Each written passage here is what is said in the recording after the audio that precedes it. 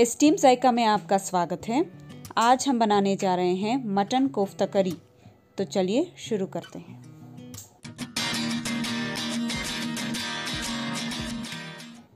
कोफ्ते बनाने के लिए हमें चाहिए होगा धनिया पाउडर दो टीस्पून्स, लाल मिर्च powder one and half teaspoon garam masala powder half teaspoon हल्दी हाफ़ टी स्पून नमक स्वाद अनुसार।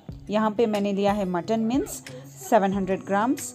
तेल three two four tablespoons और साथ ही हमें चाहिए होगा fresh coconut two tablespoons अदरक लहसुन का paste one and half teaspoon दो से तीन टीस्पून रोस्टेड ग्राम यानी फुटाने तो ये सारी चीज़ें हमें सिर्फ़ कोफ्ते बनाने के लिए ज़रूरत होगी। सबसे पहले हम यहाँ पर एक ड्राई ब्लेंडर जार में रोस्टेड ग्राम यानी फुटानों को ड्राई ग्राइंड कर लेंगे। इसका फाइन पाउडर बना लेंगे। ये रोस्टेड ग्राम इसमें डालना बहुत ज़रूरी होता है क्योंकि ये एक बाइंडिंग एजेंट की तरह काम करती है कोफ्तों में। ये डालने से कोफ्ते आपके कभी भी टूटेंगे नहीं। तो थोड़े से ये फुटानों का ये जो मिक्सचर है, ये डालना बहुत ज़रूरी है। अब आप देख सकते हैं ये अच्छी तरह से पाउडर हो चुका है। अब हम उसे साइड में रख कर कोकोनट को ग्राइंड कर लेंगे। पहले कोकोनट को हमने पतला काट लिया है ताकि ये इजी से ग्राइंड हो जाए। तो अब आप देख सकते हैं, कोकोनट को हमने कोर्सली ग्राउंड कर लिया है। अब हम इसमें डालेंगे अदरक लहसुन का पेस्ट अब हम इन दोनों को मिलाकर फाइन पेस्ट बना लेंगे इनका।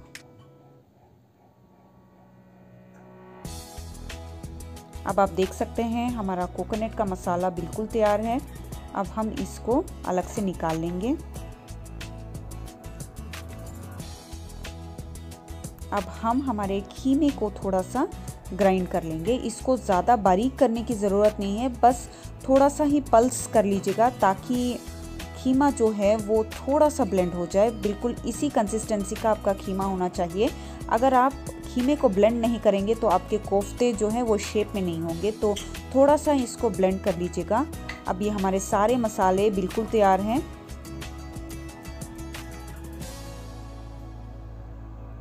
अब हम खीमे में ये सारे मसाले जो हैं वो अच्छे से मिक्स कर लेंगे। ये हुआ लाल मिर्च पाउडर, नमक, गरम मसाला पाउडर, धनिया और हल्दी। ये सारे मसाले सिर्फ़ कोफ्तों के लिए हैं। इसकी ग्रेवी के लिए हम अलग से मसाले लेंगे और अब हम डाल रहे हैं ये फुटानों का पाउडर और साथ में ये कोकोनट का मसाला।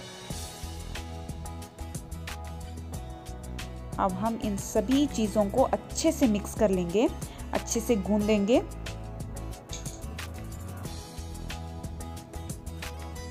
इसे बिल्कुल अच्छे से मिक्स कीजिएगा ताकि सारे मसाले जो हैं वो खीमे में अच्छी तरह से मिक्स हो जाएँ।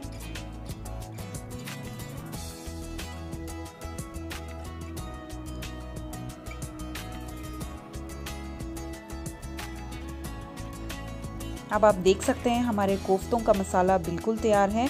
अब हम इसके छोटे छोटे कोफ्ते बना लेंगे। तो सबसे पहले हम हाथों पे अच्छे से तेल लगा लेंगे, ताकि ये आपके हाथों पे चिपके ना। अब हम इसके छोटे छोटे बॉल्स लेकर इसको अच्छे से रोल करके कोफ्ते बना लेंगे। इसको अच्छे से रोल कीजिएगा, ताकि ये मुलायम सा सॉफ्ट सा कोफ्ता बने। इसमें क्रैक्स बिल्कुल नहीं होने चाहिए। अगर कोफ्तों में क्रैक्स आएँगे तो वो टूट जाएँगे। तो अच्छे से इसको रोल करके कोफ्ते बना लीजिएगा।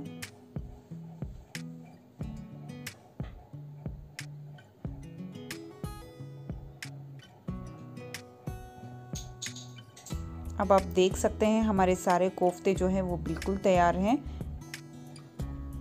इसको मैरिनेट वगैरह कुछ भी करने की ज़रूरत नहीं है अब आप डायरेक्टली कोफ्ते बना सकते हैं। तो सबसे पहले हम आ, हमारे प्रेशर कुकर में तेल डाल लेंगे।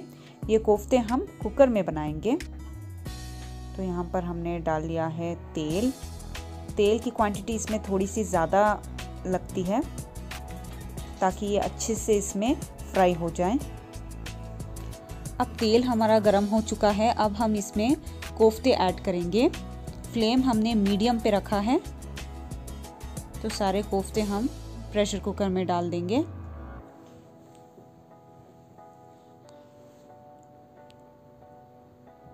ये देखिए, सारे कोफ्ते हम, हमने प्रेशर कुकर में डाल दिया है। इसे पाँच मिनट के लिए मीडियम फ्लेम पर पकने दीजिए। जब तक वो बन रहा है, हम ग्रेवी का मसाला रेडी कर लेते हैं। तो इसके लिए सबसे पहले हमने एक मीडियम साइज़ का अनियन स्लाइस करेंगे। हमारा Instagram page S T underscore Zayka को ज़रूर फॉलो कीजिएगा हमारे चैनल रिलेटेड अपडेट्स के लिए। अब आप देख सकते हैं, हमने ऑनियन को फाइनली स्लाइस कर लिया है। अब हम इनको थोड़ा सा फ्राई कर लेंगे।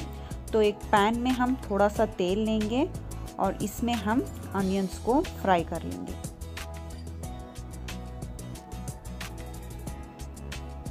ऑनियंस को अच्छे से खोल के डालिएगा ताकि वो अच्छे से फ्राई हो जाए।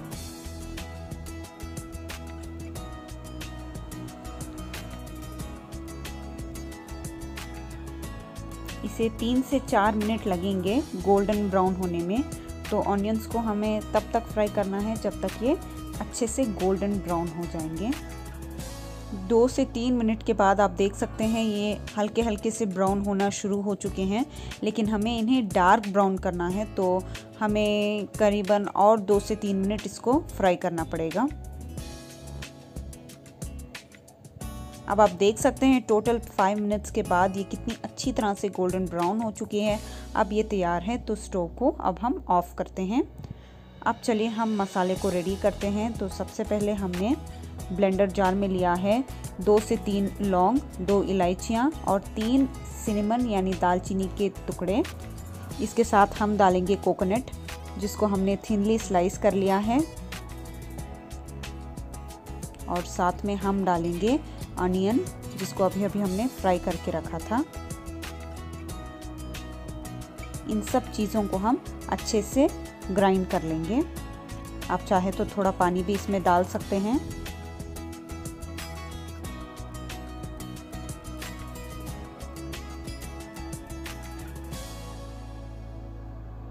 अब आप देख सकते हैं, हमारा जो कोकोनट का पेस्ट है, वो बिल्कुल तैयार है। ये कितनी अच्छी तरह से ब्लेंड हो चुका है।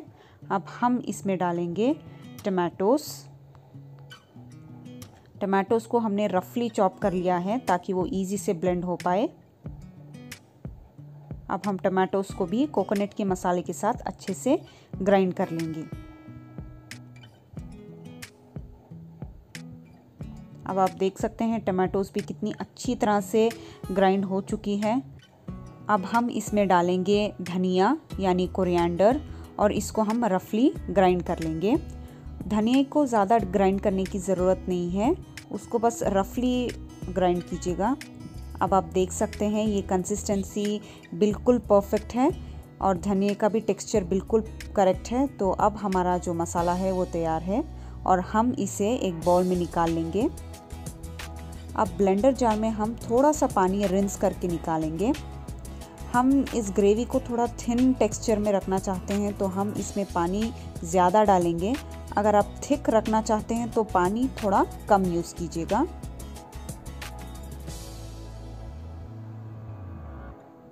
अब इस मसाले में हम डालेंगे अदरक लहसुन का paste, one and half teaspoon धनिया दो टीस्पून, हल्दी half teaspoon one and half teaspoon red chilli powder और नमक अपने टेस्ट के अनुसार।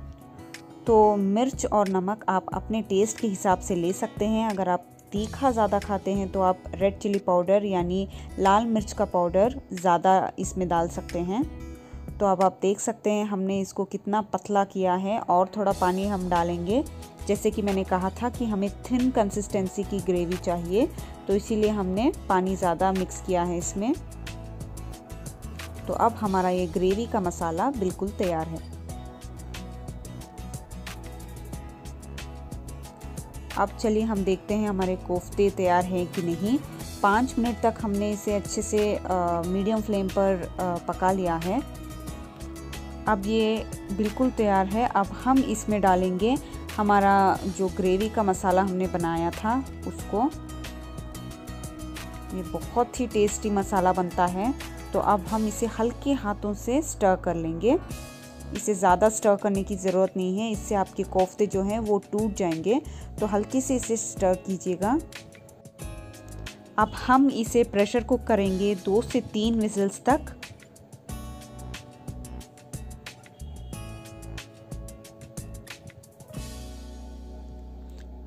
अब हमारे कोफ्ते जो है दो से तीन विजल्स तक पक चुके हैं। तो अब आप देख सकते हैं कि ऑयल किस तरह से ऊपर आया है, कितनी अच्छी तरह से मसालों से सेपरेट हुआ है। तो अब हमारे कोफ्ते जो हैं वो बिल्कुल तैयार हैं। इसे आप स्टर कर लीजिए और चेक कर लीजिएगा। अगर आपके कोफ्ते अभी भी नहीं पके हैं तो आप एक और विज़ल के लिए पका सकते हैं। तो हमारे कोफ्ते यहाँ बिल्कुल तैयार हैं। अब हम इसमें डालेंगे ऑनियंस ये ऑनियंस हैं जिसको मैंने फ्राई करके रखा था। तो इस ऑनियंस को हम अच्छे से क्रश करके ऊपर से डाल देंगे। और साथ में ये थोड़ी सी धनिया थी हमारे पास जिसको हमने चॉप कर लिया था। तो ये दोनों सिर्फ़ फ्लेवर के लिए है और साथ में हम डालेंगे एक चौथाई टीस्पून केवरा वाटर अगर आपको इसका टेस्ट पसंद है तो आप डाल लीजिएगा, ये ऑप्शनल है। तो ये सारे जो तीन चीज़ें हमने लास्ट में डाली हैं, ये सब फ्लेवर के लिए हैं।